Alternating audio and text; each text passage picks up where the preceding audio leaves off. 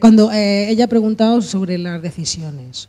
¿La qué? No, sobre las decisiones. Ah, sobre las decisiones. Ajá. La pregunta que, tú, que te acaban de hacer, ¿no? Sí, pero eso es un efecto. No es causa. Vale. Mi, mi, mi, mi decisión, si vamos a utilizar esa palabra, es de elegir un sistema de pensamiento sobre el otro. Esa es mi única decisión, ese es mi libre albedrío. Entonces, mis decisiones en el mundo de la forma es un efecto.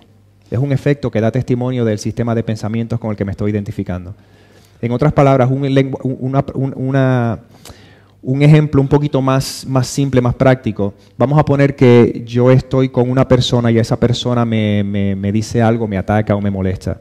Si yo estoy identificado con el sistema de pensamientos del ego, pues obviamente, ¿cómo voy a responder? Posiblemente me voy a defender, voy a atacar para atrás o esto que sí lo otro. Estoy reaccionando. Pero la decisión no la tomé yo, esa decisión está representando o reflejando el sistema de pensamientos con el que me identifiqué anteriormente con el que estoy identificado. No obstante, si estoy practicando elegir el sistema de pensamientos del Espíritu Santo, percibiendo el mundo de otra manera, ese mismo ataque, el mismo ataque se percibe de otra manera y entonces responde de otra manera. Y en ese momento quizá pues lo veo como una persona que tiene su propio conflicto, no tiene nada que ver conmigo y no reacciona. Pero ¿quién tomó la decisión de no reaccionar o de reaccionar? ¿Quién la tomó? Yo, no. Esa decisión sencillamente dio testimonio del estado mental con el que yo me estaba identificando. Por lo tanto, la práctica diaria, desde ahora, no ahora cuando venga un ataque o lo que sea, desde ahora, es elegir más y más tu relación con tu ser. Ese es lo único que tú tienes que hacer desde ahora. Y de ahí en adelante, las decisiones que se estén tomando en el mundo son meramente efectos. O sea, ese es y se siente mejor uno, ¿eh? Eso. Efectivamente, seguro. Vamos, la conclusión es Incomparablemente mejor. Sí. Eso. Incomparablemente. Y además conoces lo que es la felicidad de verdad. Que no tiene nada que ver con pasarlo bien, pero lo incluye.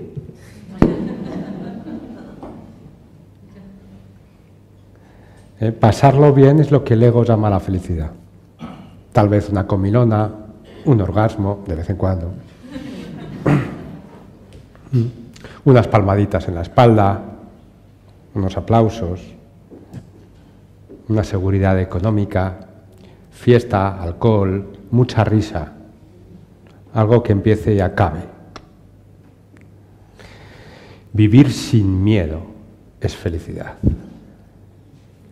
Vivir la inocencia es felicidad. Ver la inocencia es felicidad. Saber que el amor es, es felicidad. O sea que lo que realmente es felicidad es como una aventura a la que te abres, de la cual yo estoy simplemente rozando el principio de esa aventura y he corrido aquí a contártelo. ¿Eh? De lo que está sucediendo aquí. ¿Y cómo ha tenido que ver? Por favor, los móviles. Apaguen, sus celulares. y esto está en cámara, mira lo interesante del caso, para que la prueba. y ahora en adelante, si le digo, por favor, apaguen sus celulares, sí, pero yo vi un video tuyo. Ah. Entonces, en ese, ese soltar el miedo, eh, ha sido radicalmente proporcional a una voluntad de abandonar la voluntad independiente. Y esa voluntad es tu unidad a la voluntad. Y eso es aceptación. O sea que resulta que la aceptación es algo que tiene que ocurrir por tu voluntad.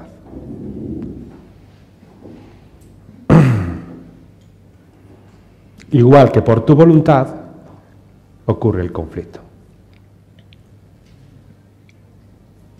Porque todo lo que aquí pasa es por voluntad, porque eso es la mente. El motor de la mente es la voluntad. O sea que sí que, que hay un estado de paz desconocido totalmente antes de, de empezar esta aventura un estado de quietud, de felicidad, de satisfacción. Por fin te satisface tu vida. Por fin estar viendo una serie absurda de televisión con la mano de mi mujer cogida es el cielo. Y luego, la ducha es el cielo. Y luego, salir a pasear es el cielo. Y luego, acostarme para dormir es el cielo. Y encontrar un baño cuando lo necesitas es el reino.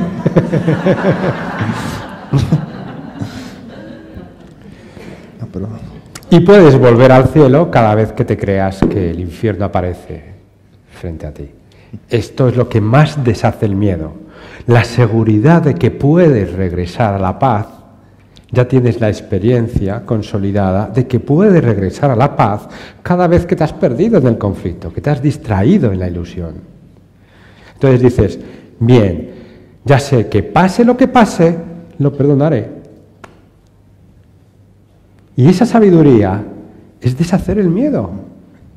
Pase lo que pase, lo trascenderé. Y va a pasar de todo. Se va a debilitar tu cuerpo hasta morir. Vas a perder el contacto con todas las personas que conoces. Todo va a pasar. Todo lo que creas que es temible va a pasar, de una manera o de otra. O sea que solo puede cambiar tu manera de interpretar eso temible. O si no, el programa te atrapará. Y cuando descubras que no puedes temer nada por razón de lo que eres, cuando venga lo que sea que va a venir por seguridad, el envejecimiento, la enfermedad, la pérdida, el cambio de lo que aparece, tú vas a entender lo que está pasando ahí, vas a estar en paz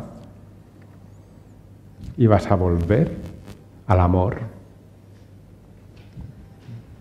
Vas a volver al amor si es que te afecta. Si no te afecta, ni siquiera te moverás. Hace poco eh, murió mi madre. Fue una experiencia maravillosa, ¿no? De darme cuenta cómo esto, todo este proceso me estaba profundizando, me estaba ayudando. Y cómo darme cuenta que entendía perfectamente que no había muerto nadie. ¿Mm? Hace poco, hace unos años, ¿no? Entendí perfectamente qué era la relación con mi madre, cómo esa proyección, cómo todo eso. Entendí perfectamente cómo eh, la muerte no te puede hacer ningún daño, no te puede hacer sentir ninguna pérdida.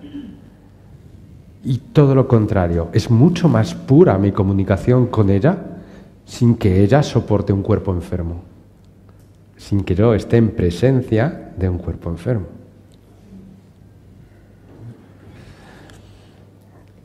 La comunicación perfecta es el amor. Este, Ten en cuenta que ahora mismo tú y yo tenemos una comunicación perfecta, pero como nos asusta la comunicación perfecta, vemos un cuerpo y nos comunicamos a través de un cuerpo.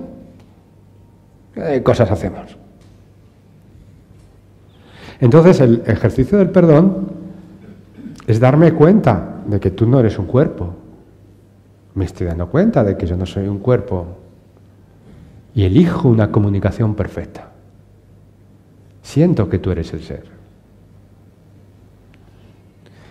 Recuerdo entonces que soy. Ahora acaba de deshacerse la relación porque se ha puesto al servicio de la unidad. Y eso conlleva una manera de sentir que te puedo, te puedo garantizar.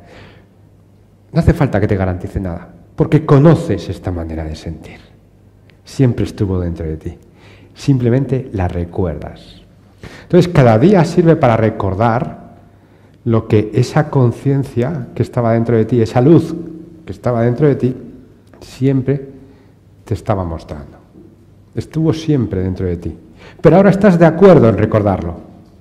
Ahora no buscas otra cosa, no buscas otras aventuras, no buscas otros caminos que hacer por tu cuenta. Ahora estás de acuerdo a recordar eso. O sea, que estás cooperando con lo inevitable, que es la verdad. Estás cooperando con lo inevitable, tan inevitable como que un río desemboque en el mar. Y ahora estás cooperando con eso. Estás disfrutando de cómo el río va cayendo hasta el mar. Estás disfrutando de que ya tu camino es de regreso seguro hasta el fin del sufrimiento. En realidad el perdón comienza cuando agradeces, cuando agradeces la vida profundamente. No agradeces que te hayan subido el sueldo, no agradeces tampoco que tu madre esté mejor, o no agradeces quitarte una piedra del zapato, agradeces ser. Eres el agradecimiento. Esa experiencia te hace saber lo que es la felicidad. El agradecimiento es una parte fundamental, es lo que llamaba eh, Nick antes el tercer paso. Es una parte fundamental del perdón, porque has de sentir que hay un nuevo mundo dentro de ti que refleja la creación auténtica. Hay un nuevo mundo que reemplaza al que estás soltando. Porque si no dirías, eh, esto es una pérdida, Estoy soltando esto y me estoy quedando sin esto. No, no, el agradecimiento está forjando una nueva manera de sentir, de experimentar, con la cual ya no necesitas seguir aferrándote al personaje que conseguía cosas. Entonces el agradecimiento es fundamental porque se está reemplazando tu mundo de ilusiones por un mundo de amor real dentro de ti. Se lo llama el curso un mundo real, el mundo real. ¿Por qué es el mundo real? Porque lo más real que puedes experimentar aquí. Esa experiencia de amor. Eso es lo que tiene que ver con tu ser, con tu fuente, con tu naturaleza. Y según experimentas eso, sabes que el camino es seguro, que la ruta está fijada. Ya las dudas van desapareciendo. Y según desaparecen las dudas, desaparecen las proyecciones de duda. ¿Eh? Es un camino que se retroalimenta. Esa misma gratitud te hace estar en mayor disposición para deshacer el juicio que vuelve a aparecer. Entonces cada vez te parece tan más fácil, cada vez tienes que hacer tú menos. ¿Por qué? Porque estás agradecido. Y cuanto más agradecido estás, menos miedo tienes.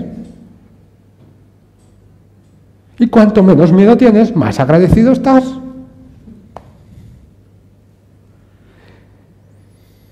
Entonces el agradecimiento te permite aceptar tu amor sin temor.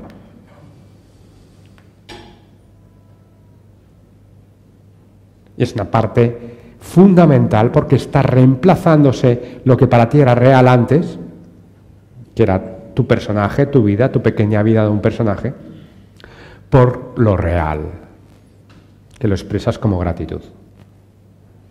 Entonces la paz no es algo neutro y soso. En cuanto tú haces ese vacío en tu interior, se llena de gratitud. Se llena de gratitud. Y entiendes que la paz es... Te está hablando de un mundo que aquí no puedes entender, pero ya lo empiezas a vivir aquí. Ese mundo real es el que realmente desplaza tus apegos, que son toda la dificultad que tienes para soltar cualquier conflicto en este momento. Apego es dificultad.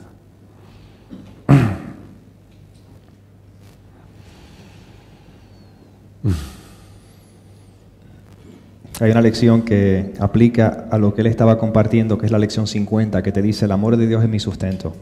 Que eso es lo que estamos hablando, identificando.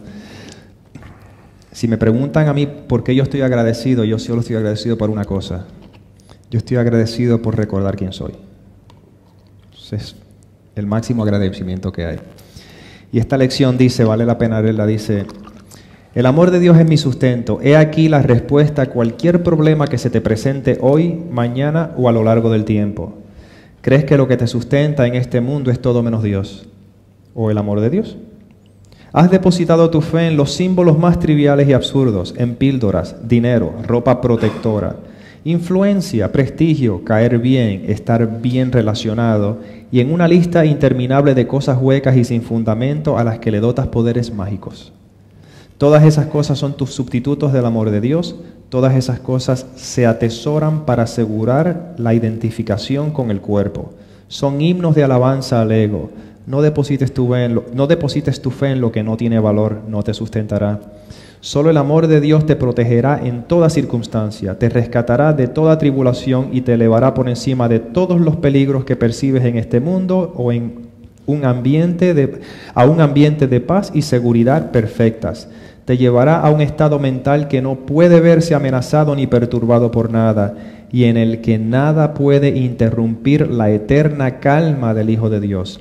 No deposites tu fe en ilusiones, te fallarán. Deposita toda tu fe en el amor de Dios en ti, eterno, inmutable y por siempre indefectible. Esta es, la, esta es la respuesta a todo problema que se te presente hoy.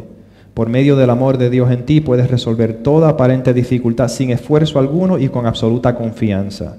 Dite a ti, dite esto a ti mismo con frecuencia hoy es una declaración de que te has liberado de la creencia en ídolos, es tu reconocimiento de la verdad acerca de ti.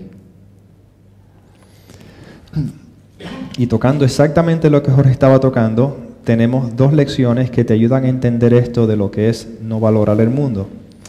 Hay una, hay una frase en el curso que te dice, todo aquello que valoras en este mundo tiene el poder de hacerte daño y lo hará. Lo hará porque todo ídolo falso en este mundo va a cambiar. Lección 128 te dice, el mundo que veo no me ofrece nada que yo desee.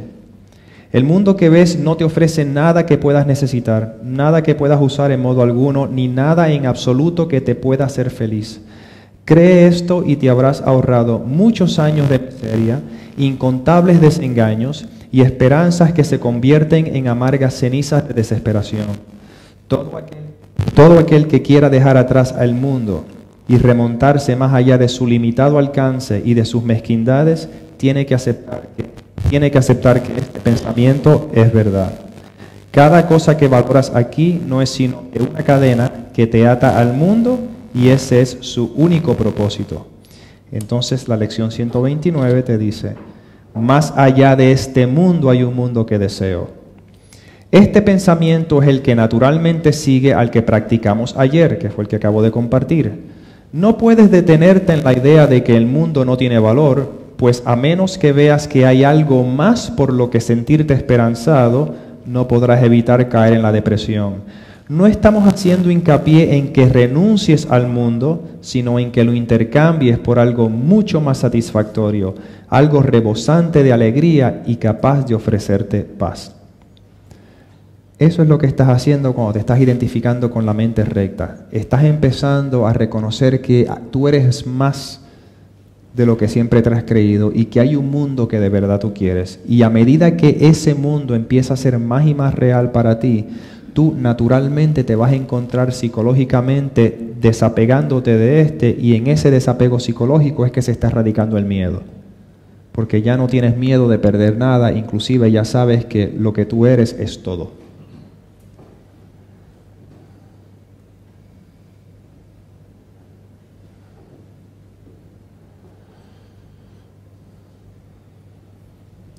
Y tú experimentas tus avances de una manera muy honesta, muy clara.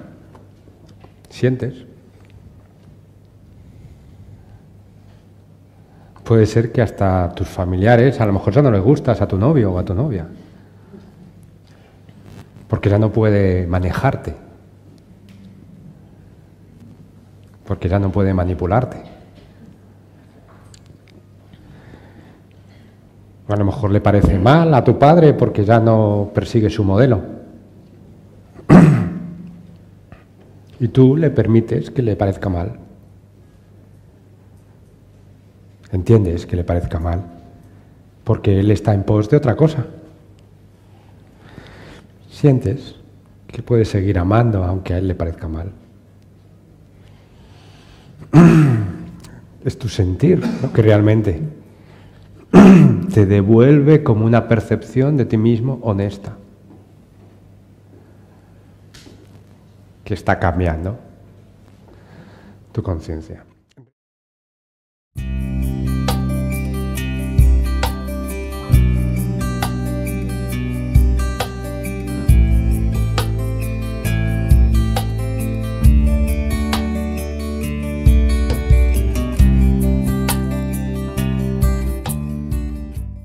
En realidad, el amor no tiene nada que ver con este mundo. ¿eh? Esto es radical. O sea, con, tal como está establecido en este mundo, lo que creemos ser, lo que creemos conseguir, los intercambios que se establecen en las parejas, en las, eh, en las amistades, este deseo de hazme especial, yo a cambio te hago especial a ti.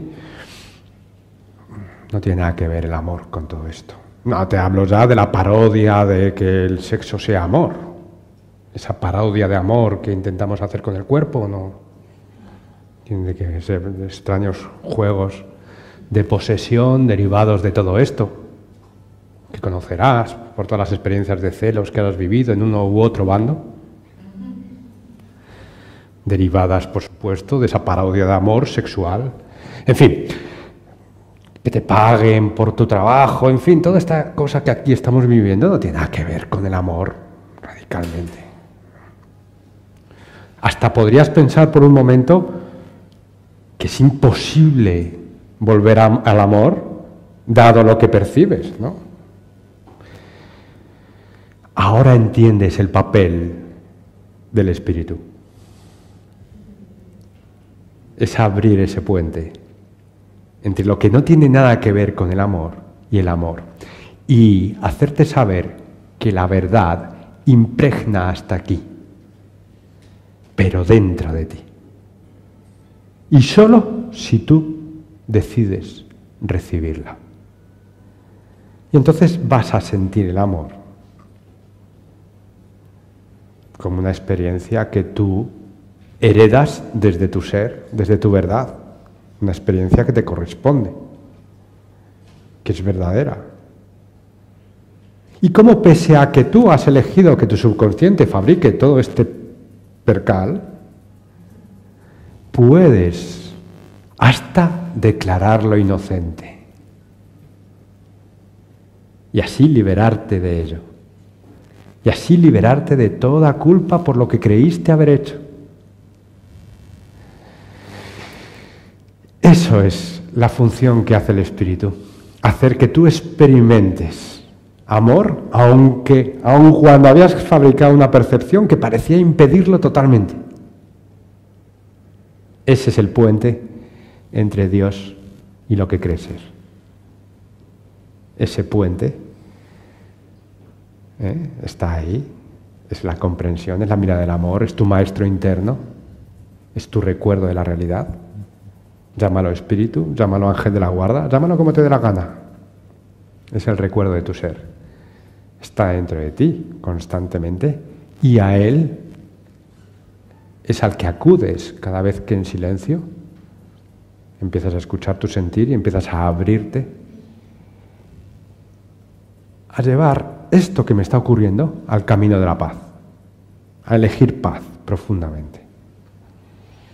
Entonces sueltas las armas y aceptas este puente, este cambio. Entonces te empiezan a cambiar las maneras de pensar, te empiezan a cambiar las maneras de percibir, te llegan nuevas ideas, empiezas a recordar este asunto de la responsabilidad.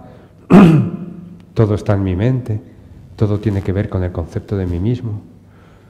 Empieza a cambiar todo, empieza a cambiar la relación, empieza a cambiar todo.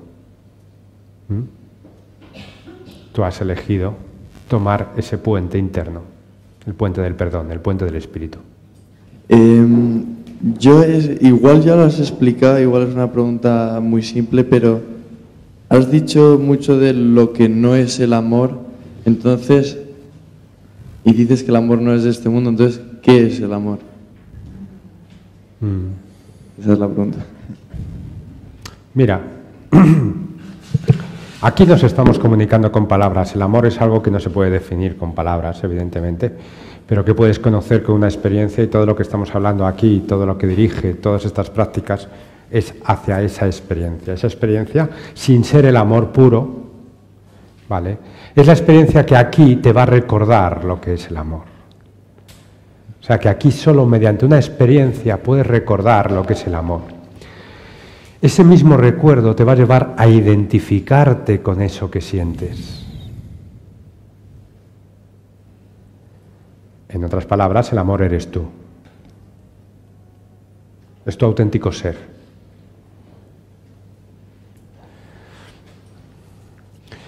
Ahora bien, hay atributos que hacen que el amor sea el amor. Y estos atributos son sencillos. Unidad, libertad, total inocencia. Son atributos sin opuestos. O sea, unidad sin opuestos. No hay individualidad, no hay sentido de ser especial, no hay diferencias, no hay separación, no hay soledad, unidad pura, sin opuestos. Libertad pura, sin opuestos. sin opuestos, es libertad sin elección, pura libertad, sin elección. Libertad es expansión sin límites, no es elección, elección es dualidad. elección es duda, elección es confusión. Elección es alguien especial que tiene preferencias libertad total. Sin dudas, sin confusiones, sin elecciones. Expansión total. Sin programas, sin límites. Infinitud total. Aceptación total. Sin oposición alguna. Invulnerabilidad total sin debilidad alguna, vida total, sin final. Y solo uso estas palabras porque necesariamente dentro de ti está el recuerdo de todo esto. Si no, ni me molestaría en usarlas. Porque estas palabras son simplemente palabras. Pero ese recuerdo es lo que hemos buscado cada vez que hemos buscado un novio, cada vez que hemos buscado seguridad económica. Es lo que ha distorsionado el programa para enfocar nuestra búsqueda en el mundo. Buscábamos esa seguridad, esa ausencia de límites. Buscaba la libertad en hacer lo que me diera la gana. Y no me daba cuenta que hacer lo que me diera la gana era atender a mis apegos, a mis temores. Buscaba la libertad creyendo que soy algo que hace cosas. Buscaba el amor sin saber quién soy. Somos el amor. Somos el amor. Solo siendo quienes somos podemos encontrar libertad, satisfacción, felicidad. Es indescriptible lo que somos. Pero hay un recuerdo común. Cuando tú realmente tienes la voluntad de ese recuerdo, cuando realmente quieres soltar lo que crees ser y recordar lo que eres, las palabras sirven de herramienta para tu voluntad. Las relaciones sirven de herramienta para tu voluntad. Las experiencias sirven de herramienta para tu voluntad. Los libros sirven de herramienta para tu voluntad. Las conferencias sirven de herramienta para tu voluntad. Todo está al servicio de lo que tú deseas. Y si tu voluntad es el amor, lo conocerás, porque es tu ser. Y es tu pleno derecho conocer tu verdad. ¿Cómo no iba a ser posible conocer lo que eres? ¿Cómo no iba a ser posible que pidieras lo que tienes? Lo que es imposible es que pidas que se te conceda lo que no tienes. Y por eso estamos siempre pidiendo cosas y nos frustramos con los resultados. Porque pedimos lo que no es propio de tu ser. Entonces hay un camino natural de regreso al ser. Ya está escrito, ya está hecho, no tienes que fabricarlo, no tienes que ingeniártelas para elaborarlo. Simplemente tienes que rendirte a Él y dejar de demorarlo. La única dificultad es el apego, que incluye el miedo. Nada más. Y hasta entre las relaciones personales vamos a vivir un reflejo de ese amor.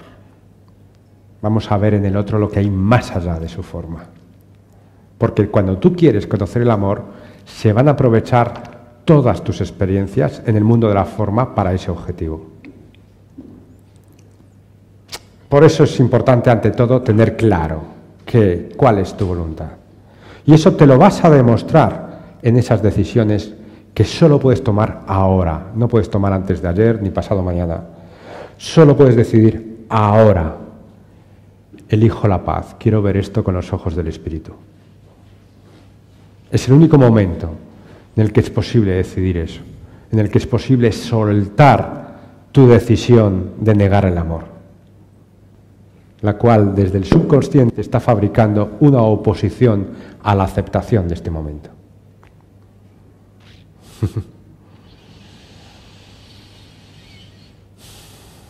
Aquí acabo de contestar que es el amor.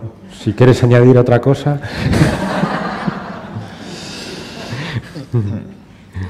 Este curso no pretende enseñarte el significado del amor, pues eso está más allá de lo que se puede enseñar. Y va el otro y lo contesta.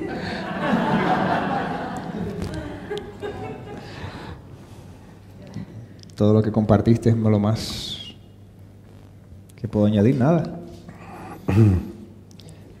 Lo que te puedo decir es que el amor no es. No son esas canciones de amor que tú oyes por ahí. Si tú oyes esas cosas, son canciones, de codependencia más bien. O sea, si tú estás con una pareja y ustedes rompen la relación y te pones a escuchar esas canciones de amor, mejor agarra una pistola y pégate un tiro también. Porque ¿Cómo se supone que viva sin ti? Pues, de la misma forma que viví antes de que te conocí, me imagino, ¿no?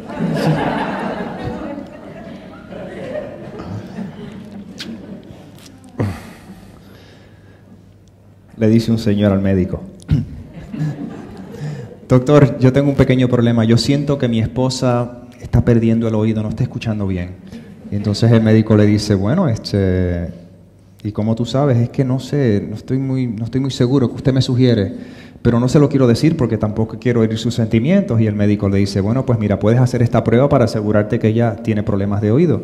Que lo que haces es que le, dices algo muy eh, a, un tono normal, en cierta, a, cierta distancia de ella en la casa, y si ella no escucha, pues se le acercas un poquitito y lo dices de nuevo, y si ella no escucha, te acercas un poquito y lo dices de nuevo, y así sucesivamente, y ahí te vas a dar cuenta si en realidad ella tiene problemas de oído, de, de escucha, de lo que sea, como se diga, problemas auditivos. Entonces él dice, bueno, pues vamos a hacer eso. Y él pues la, se va a la casa, ella está en la cocina y él está en el, él está en, en el sofá y dice, mi amor, ¿ya está la comida? No escucha nada. Así que se acerca un poquito más. Eh, mi amor, ¿ya está la comida? Nada. Se pone en la puerta de la cocina. Dice, mi amor, ¿ya está la comida? Nada. Wow. Se va un poquito más cerca todavía y dice, mi amor, ¿ya está la comida? Nada. Yo dije, ostras, esta mujer sí tiene problemas. Así que se va, se le pone detrás de ella y le susurra en el oído, mi amor, ¿ya está la comida? Y ella le dice, por la quinta vez te dije que sí.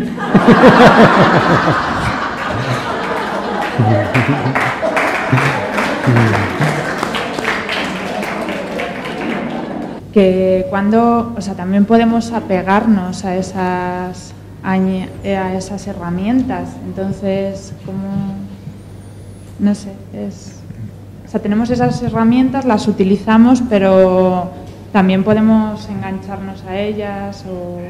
A no ser que sean herramientas cuyo propósito sea el desapego. ¿Cómo, perdón? A no ser que sea herramientas cuyo propósito sea el desapego. ¿Vale? Entre esas herramientas hay herramientas que son las herramientas que utiliza cualquier práctica mm, que está planteada desde la no dualidad. Cualquier práctica, cualquiera de los 365 ejercicios de un curso de milagros, cualquiera de las prácticas que están planteadas desde la mentalidad de la no dualidad, son herramientas para sentir. Toda herramienta que te lleva al vacío, que te lleva a sentir, que te lleva a vaciarte, que te lleva a soltar, es una herramienta a la que no te puedes apegar. Es solo un enfoque que te lleva a un espacio y esta experiencia la que importa. Y una vez que sientes esto, la herramienta no te importa nada. Esa experiencia a la que llegas, no te apegas a ella porque es tu verdad. Es imposible apegarte a tu verdad. Es como estás empezando a darte cuenta. Y empiezas a adquirir poder. El poder de soltar, el poder de darte cuenta. Y en ese poder de soltar te estás haciendo no dependiente. Las mismas herramientas están favoreciendo que tú cuando no necesites las herramientas, las dejes. Porque están educando a la mente a no apegarse es como el perdón. Yo el perdón digo que es otro programa. ¿eh? Es otro programa. Lo que pasa es que el objetivo de este programa es que abandones todo programa. Es un programa que desprograma.